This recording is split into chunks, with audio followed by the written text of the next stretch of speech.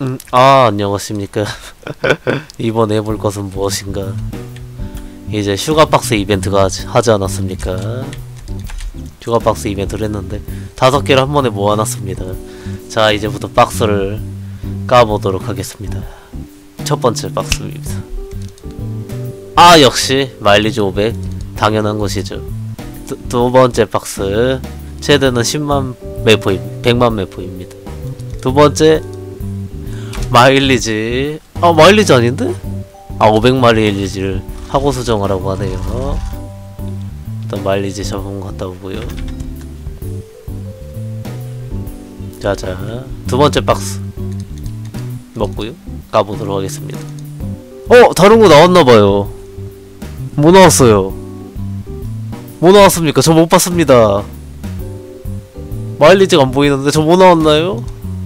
아시는 분 마일리지가 안 보이는데? 아 마일리지 천원짜리 먹었답니까?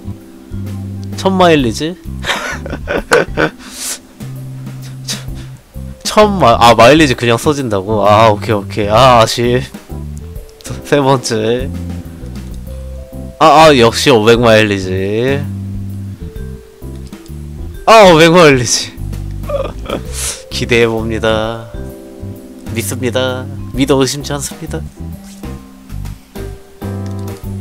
아 역시 2500 마일리지. 이것이 현실 아니겠습니까?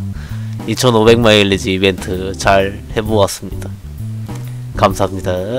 아쉽네요. 아 비숍 한번 해볼까요? 비숍이 4개 있거든요. 비숍 한번 까볼게요. 어, 비숍은 5개 못 모아가지고 좀 아쉽긴 한데 가보도록 하겠습니다.